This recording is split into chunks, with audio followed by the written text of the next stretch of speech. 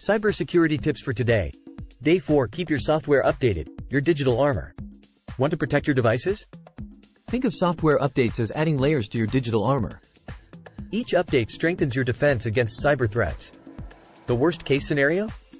Outdated software can leave you vulnerable to hackers, leading to data breaches and malware infections. To fortify your digital armor, enable automatic updates in your system settings.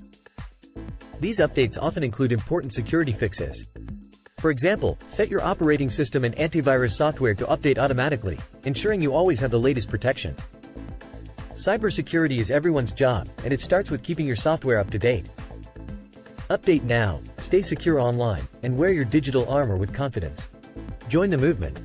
Like, share, and subscribe for daily cybersecurity tips.